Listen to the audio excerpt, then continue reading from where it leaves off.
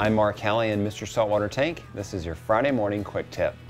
If there's one thing that's inevitable with the saltwater tank, it's that at some point you're going to spill some water on the floor. And if you have hardwood floors or carpeted floors that you want to keep looking great, here's a quick tip that will keep you and your spouse happy. Grab yourself a drop cloth and put it underneath the area that you're going to be working around your tank. That way if any water, corals, any other foreign matters fall onto the drop cloth from your tank, easily wrap it all up, take it outside, dump it out, keep your floors looking great, keep your carpet clean, and more importantly, keep your other half happy. Because let's face it, if they ain't happy, you ain't happy.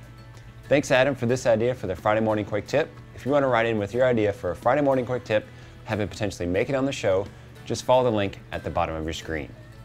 I'm Mark Kelly and Mr. Saltwater Tank. This has been your Friday Morning Quick Tip. Till next time, have a good one, enjoy your tanks, enjoy your weekend, keep your other half happy, and know your tank personality.